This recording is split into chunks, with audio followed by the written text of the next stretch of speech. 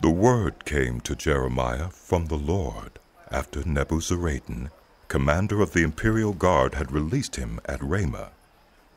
He had found Jeremiah bound in chains among all the captives from Jerusalem and Judah who were being carried into exile to Babylon.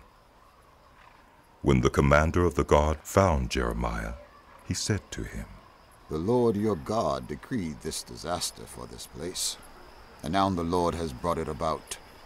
He has done just as he said he would. All this happened because you people sinned against the Lord and did not obey him. But today I am freeing you from the chains on your wrists. Come with me to Babylon if you like, and I will look after you.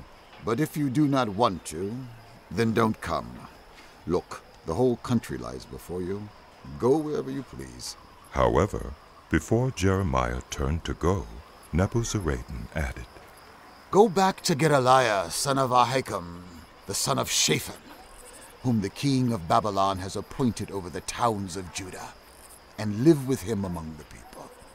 Or go anywhere else you please. Then the commander gave him provisions and a present, and let him go.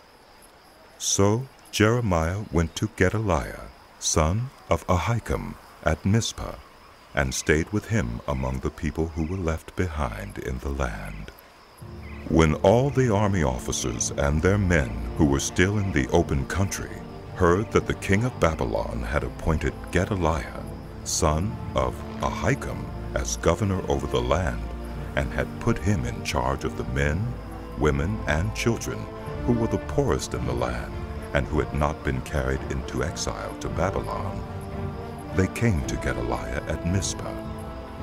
Ishmael, son of Nethaniah, Johanan and Jonathan, the sons of Kareah, Seraiah, son of Tanhumeth, the sons of Ephai the Netophathite, and Jaazaniah, the son of the Maachathite, and their men. Gedaliah, son of Ahikam, the son of Shaphan, took an oath to reassure them and their men. Do not be afraid to serve the Babylonians, He said, Settle down in the land and serve the king of Babylon, and it will go well with you. I myself will stay at Mizpah to represent you before the Babylonians who come to us. But you are to harvest the wine, summer fruit, and olive oil, and put them in your storage jars, and live in the towns you have taken over. When all the Jews in Moab, Ammon, Edom, and all the other countries heard that the king of Babylon had left a remnant in Judah and had appointed Gedaliah, son of Ahikam, the son of Shaphan, as governor over them, they all came back to the land of Judah, to Gedaliah at Mizpah, from all the countries where they had been scattered. And they harvested an abundance of wine and some fruit.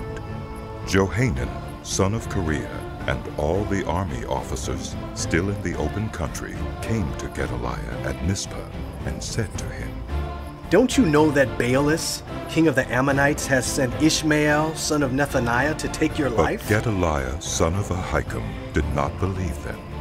Then Johanan, son of Kareah, said privately to Gedaliah in Mizpah, Let me go and kill Ishmael, son of Nethaniah, and no one will know it.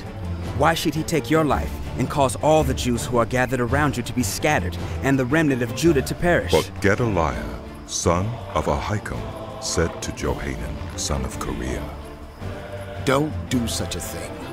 What you are saying about Ishmael is not true.